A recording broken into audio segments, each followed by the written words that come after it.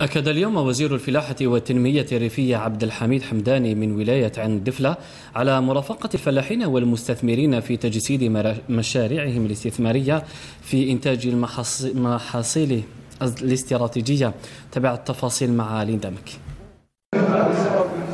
في مستهل الزيارة استمع حمداني إلى انشغالات الفلاحين ومشاكلهم. المنتوج الحالي بهذا نطلب لكم من سيدي الوزير تكونوا معنا وتعاونونا إن شاء الله في هذا الوسمها لأنه الشارع بعد بزاف من من المدخول إلى المخروج. أول حاجة اللي نحوسوا عليها هي مصنع في ولاية عين دفلة آه، لأنه شعبة الطماطم آه، رانا رانا في الذروه سيد الوزير يعني لحقنا السنة رانا متوقعين باش تكون عندنا 3500 هكتار ما عندناش الحق نخلوا الفرصة تجوز ولا نخلوا الحالة تدهور ونخلوا الفلاح اللي هو ال centre des problèmes التجربة الناجحة لزراعة السلجم الزيتي على مساحة 55 هكتارا. ستفتح الباب أمام المستثمرين لتطوير هذه الشعبة. وانطلاقة فعلية في كل الشعب اللي عندها وزن ثقيل في الاقتصاد الوطني.